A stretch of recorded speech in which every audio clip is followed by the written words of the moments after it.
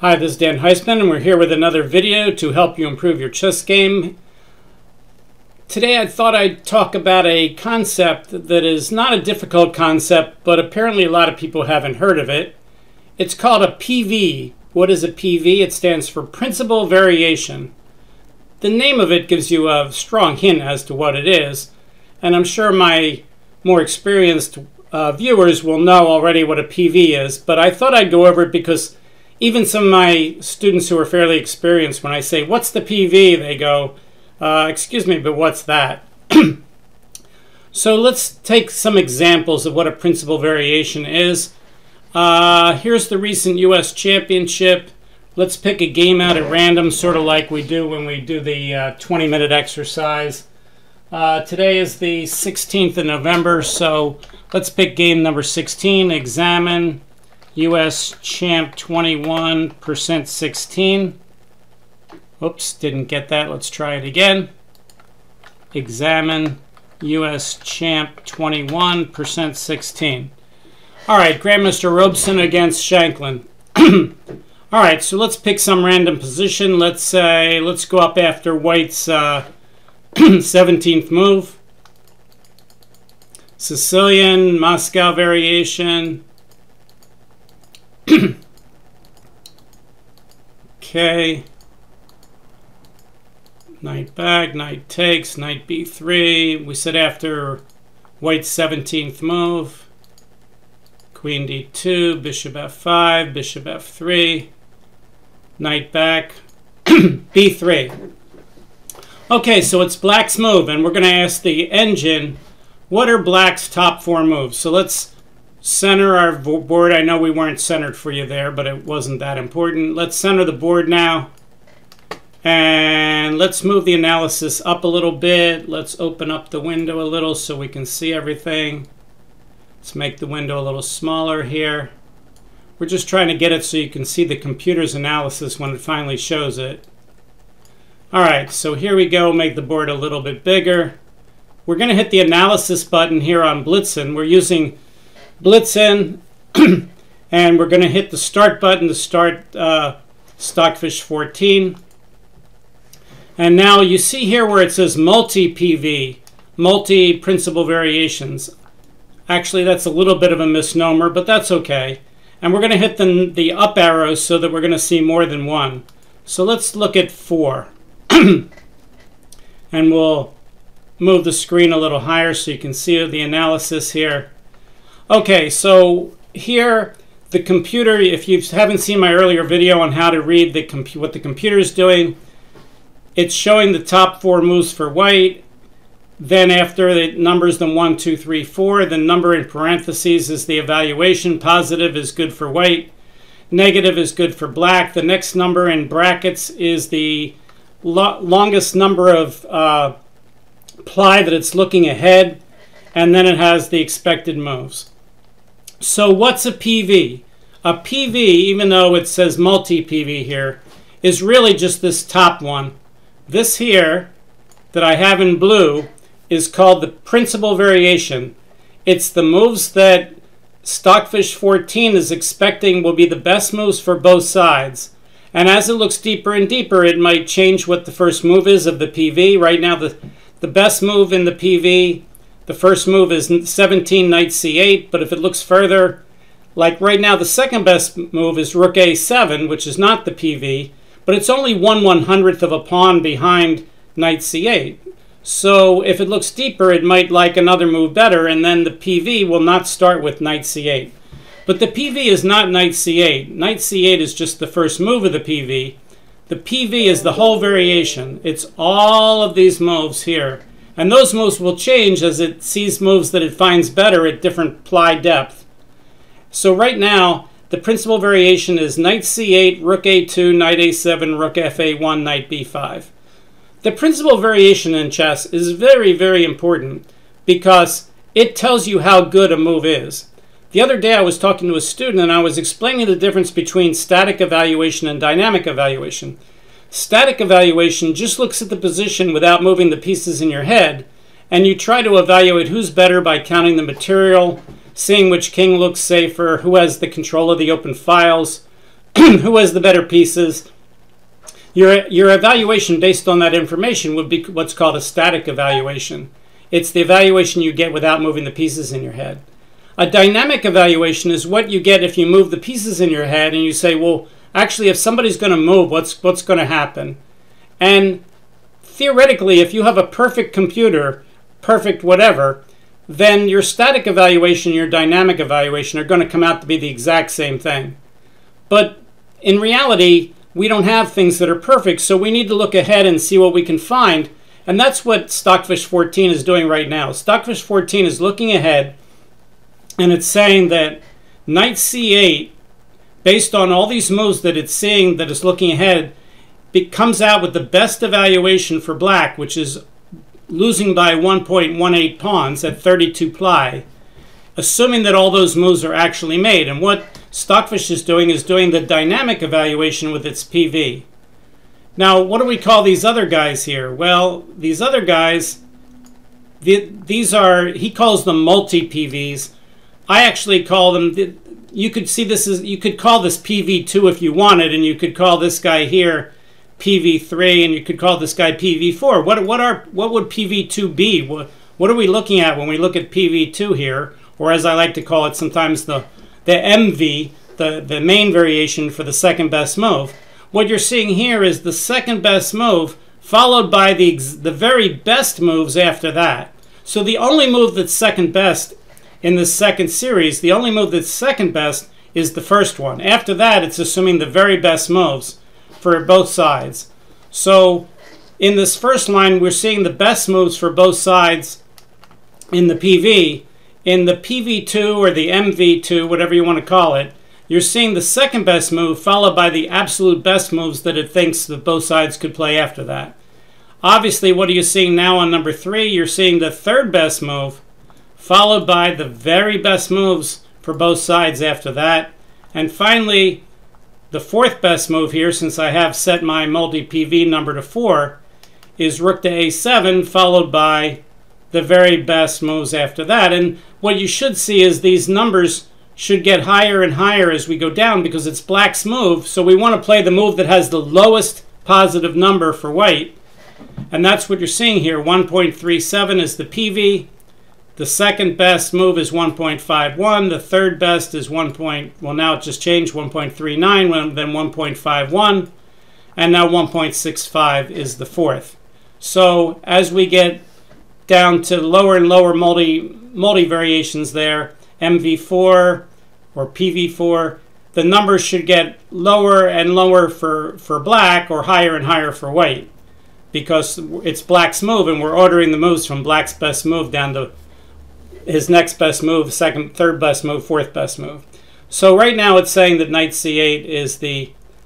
Now we can make the actual move played in the game. Let's see what Grandmaster Shankland did here. Did he play the best move knight c8 or maybe the second best move knight b8? He played rook a e8 and we'll expect since he didn't play the PV that the evaluation should go up for Grandmaster Robson. And it does. It goes up to 1.63. And now the PV for Robson is knight to c4. The second best move, which is right next to knight c4, is h3. It's jumping around, of course, as it looks deeper and it finds better moves. Now he's saying rook a2 is it possibly the best move, and now rook a2 has jumped down to second and now back to first. It settles down when you get in deeper plies because there's not as much chance that it'll jump around in the evaluation when the plies get deeper. But right now he's only at 25 ply. And of course, the closer those moves are together, the less critical it is that you find one versus the other, the more it'll jump around. If right now the evaluation for white is 1.58 with his best move, 1.49 with his second best move, 1.41 with third best, 1.34 with the fourth best. So it's not that much of a difference, and therefore it's very possible when it gets a better feel on it, when it goes one ply deeper, that they'll they'll reorder and they'll get in different orders let's apply what we're what we're doing here to instead of to a game let's apply it to a puzzle. So let's pick out a random puzzle from my library here. Let's uh, again it's the 16th so let's pick up puzzle number 116 let's see what that is. Okay so this is uh, a black to play puzzle. All right let's uh, make it a little bigger. If you want to pause the video and see what you would do for black, then you could take your time. Okay, so let me give you the answer to the puzzle. The answer to the puzzle is that right now, white isn't Zugzwang. If black wants, he can win the exchange with the bad move bishop takes d2 check, and after rook takes d2, he can play rook takes d2, king takes d2, and he can get into an endgame with king and 5 pawns against king and 5, where black has the better pawn structure and black has reasonable chances, but white's king would be closer to the middle. So the right answer to this puzzle, let's go back again, let's take the lines off the board, make it black's move. So the right answer to this puzzle is what you really want to do here is run white out of moves. And you don't want to make random moves. For instance, suppose black plays king f8 and white plays c4 and black plays king to g8 waiting and white plays c3 and black plays king f8 and white now gets out of the pin. Now this rook is not pinned anymore and now black would pretty much have to take it and now he could keep the rooks on the board or go into the king and pawn endgame. So this is not gaining anything for black by just doing random moves. The move that black actually wants to play that's the answer to the puzzle is to stop these pawns from coming up so the king can't guard the, the rook from c2. The right move is to play c4. That blocks the c pawn from moving and now the white king is going to have a problem. So let's say here white plays g4 while he's waiting. All right, so what can black do? Well, one of the things black could do already is he could move the bishop to the other side of that pawn. He could play bishop to f4.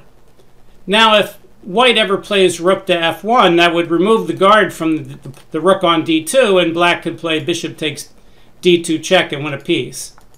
So he can't do that. But what's white going to do? He's if he let's say he plays h4 and now black could play pretty much anything he wants. He could just move the bishop back and forth if he wants. So bishop e3, g5. Let's say let's say he plays h5. It doesn't matter. Bishop f4, a4. Let's say we play a5. And now white's really running into Zugzwang. If he moves the king to the b file, then he loses the rook.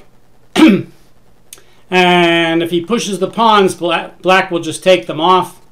If he plays g5, black just has to be a little bit careful that he doesn't get the bishop pinned to the king.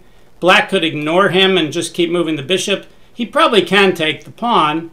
If he takes the pawn and then rook g1, there's no bishop takes check. So probably taking the pawn's the wrong move here. Black should just maybe just move the king. White plays pawn up, pawn takes, pawn takes. And now black can play something like maybe f6. If pawn checks, king here, and now again, white's running out of moves. If he plays rook to h1, black will simply take the bishop check, and then on the next move, depending on what white does, he'll just take the pawn on g7.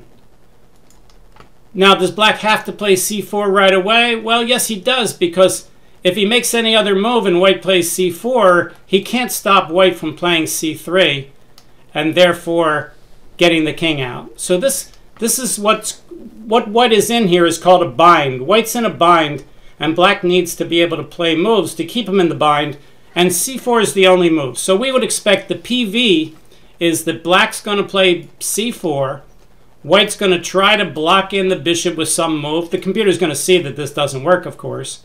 But if for a human, we would try something like this, hoping for h4 and g5 getting out of the pin, and black could play something like bishop f4 or bishop e3. And now white eventually will run out of these pawn moves. He'll have to move the king away from the rook because he's in Zugzwang or move the rook away. And he's going to lose a rook for nothing. So that's the PV. The PV starts with c4. And then after that, we just have to make sure we don't allow white to play like h4, g4, g5 and, and drive the bishop out of the pin. All right, Mr. Stockfish, having told people that, you're not going to make me look bad, right? you're going to see C4 is the only move in the PV, right? And Stockfish says, of course, Dan, I'm way better than you are. So Stockfish says, is C4 the only move that's winning? No, he says, you're probably, I'm looking ahead, and he says, even if you don't win the whole rook with C4, which is the PV, you're still winning the game if you play a move like B5, because if he tries to play c4, you can play b4. And now if he ever plays c3 and tries to get his king up here, you can take it. So he's saying there's other ways to skin the cat. But the easiest way to skin it is to play c4. Now if we if we take the same puzzle, let's let's stop the puzzle and let's take the b pawn off the board so that black doesn't have all these cutesy things. And let's make it black to play here. Now black's actually down a pawn, but he has the exact same winning line. Now we shouldn't see as many MVs that are as close to C4 as we did before. So let's ask Stockfish. Ah, yes, now you see the difference. Now the, the best move is minus 5.8 and the second best move is only 1.05 because he doesn't have those secondary ways of, of stopping C4 and C3. And now we see the PV is C4, sorry, and now if G4, it says you could play bishop F4 or bishop E3 or even bishop G5. And here they're all relatively equally good. And if white plays H4, it says now you could keep moving the bishop like I said, or just move the king. And you're just going to run them out of moves. King here. He gives A3. King to G6. A4. Rook D7. Black's just making random moves while white runs out of moves. And now he's starting to realize after A5, A6, he's saying, boy, I really think I, I need to move the rook, the king, and just give up the whole rook there. So the so here it, it you know the main the, the PV he now is king to b2. But the PV in the initial position here is the only answer really to the puzzle is c4. c4 is the winning idea to go for eventual bind and to put white into zugzwang. If you're one of those people that when you get to these positions you always play bishop takes d2 check, I have a little saying to help you remember which is you don't always want to take off pin pieces because they can't go anywhere. So taking off, if, if white was threatening to get out of this, like let's say white plays g4, let's say black doesn't play c4, let's say white black plays a6 and white plays c4 and black plays a5 and white plays c3, and now black plays uh, king f8 and white plays king c2. Well, he's just gotten out of the pin. Now you do have to take the rook, or you're not going to win anything at all. So you win the exchange. But in the initial position, when you have a pin piece like this, a lot of times the best thing to do is to put apply the pressure to that piece, in this case by putting the white king into zugzwang and forcing the white pieces to go away from the rook. If you want to jump and say, well, rooks are worth more than bishops and therefore I'm going to take it off right away, that's, you know, a reasonable way to start your thinking, but then you have to say to yourself, but where's he going to go? Where's he going to run away if I don't take it right away? And the answer is he's not going anywhere in fact, zugzwanging him is the right way to think about this. All right, so we've now we've seen a PV in a game and we've seen a PV in, in a puzzle. Uh, let's pick another random thing out of my library and see what we got here. Let's go. Let's maybe take another endgame. Let's go uh, examine ptlib2 percent 233. I have no idea which one that is.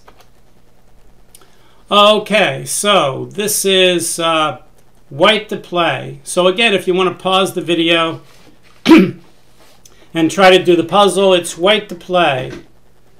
All right, so what should white do here? Okay, well, if we break down this puzzle into its component parts, black is simply threatening to get a queen with a1 queen, and that's going to win the game. Black would then have a queen and a pawn against the bishop and two pawns. And it looks pretty hopeless for white. The bishop can't guard a1 if he tries to take the pawn and guard the a1 square. Black will simply take, and now if white tries to run his pawn up the board and get a queen, it's completely hopeless. Black gets a queen, the pawn comes up. Black says, uh, I'm going to check you. If white's king goes away from the pawn, black will just take it. If he guards the pawn, then black will simply attack that pawn with the queen again. And after something like king e6, queen takes check. And it's going to be made in a few moves here. So things look really bad for white. By the way, this is the end of a more complicated, more well-known problem. I'm just showing the last part of it to, uh, to show people the, the, the nice part. Okay, so it looks completely hopeless for white. What could he possibly do? Well, the answer is you make the surprising move, king to b7. What does that do? Well, if he gets a queen, it's not check. Why is that important? Because of all the other pieces on the board. The pawn's guarding these two squares. This pawn is guarding this square. This pawn blocks this square. And if black does get a queen here, white plays checkmate. checkmate. Okay, well, but, but suppose black doesn't fall for that silly checkmate. Suppose he goes there and black says, I'll just move the king and you won't checkmate me. Maybe I'll play like king here. Well, the problem is all the moves that stop the checkmate move away from this pawn, and now white just says, thanks for the pawn. And white is stopping the black pawn from becoming a queen. And white's just going to win because he's he, if the black king keeps doing nothing, white will just move the bishop away. He'll move the king closer and help the pawns come down and get queens. So amazingly, white's actually winning this position with the crazy move king to b7, threatening mate, and black has to give up this pawn in order to stop mate, and then he's not going to queen the pawn, he's not going to win. So again, let's let's have Stockfish. Now, what would we expect here before we put up the top two or three moves here for white? What should we expect? We should expect that Stockfish is going to say that King b7 is the PV, but we should also expect that Stockfish is going to say that the second best move is losing for white. So we should see the best move completely winning and the second best move losing, and that's what you would expect from a puzzle, that there's only going to be one answer. So here we go. Let's start the engine, and we'll show the top two moves. All right, so you can see the plus M and the minus M in the PV and the PV2 here. Plus M16 means white to play. If he white plays perfectly, he's going to mate black in 16 moves, and the computer shows all 16 moves in the PV. And it says if white doesn't play the best move, if he plays the second best move, bishop e7 check, then black's going to play king c6, and black's going to checkmate white in 10, in 10 moves. So the best move for white mates in 15 moves for white, and the second best move for white mates in 10 moves for black. So this position is completely over. White, if white doesn't find the winning line, he could just resign. So it's super critical that you find king b7 here and you win the game. Let's show the mate in 15 just so we can see it's going to stay at the PV. White plays king b7, threatening mate. Black's not going to allow the mate. Stockfish says he, he has several moves that allow mate in 14 now. King d6 is one of them. Bishop takes d4. Again, this is the only winning move for white. Plus 65 in the PV, plus 73. Now it's mate. And now he's seeing mate in 15. It should go down to mate in like 14 and minus mate, meaning black is mating, in 16 moves if white doesn't play bishop d4. All right, so bishop d4, and now Stockfish says black has nothing better than to get a queen. White, of course, has to take it, or he's going to, well, he could check first and then take it. That's still winning. Bishop takes is the best move. Now king c5. The PV says mate in 13 with bishop c3, keeping the king out of these squares. King to d6, king to b6, king to e6. Let's go get a queen, c5. Now Stockfish realizes going back and stopping from getting a queen just gets mated faster. He says, I'll just let you get a queen and I'll run away. Humans usually don't do that. They make you show that you can get a queen. c6 mates in 10, as does bishop d4. King f4 holds out the longest. And now the right move to mate, if this was a puzzle, white to play in mate 9, the only right answer would be bishop to d4, keeping the king again away from these central squares. King to g5, c7, king f4, c8 queen, king to f3, now mate in 6, queen f5 check. Notice how the bishop is helping the keep the king from going. King tries to stay toward the middle. Queen check. King to d2. Bishop to h8. Wouldn't have guessed that move. if king to c2, queen to e2 check. If king to b3, then the obvious king to a5.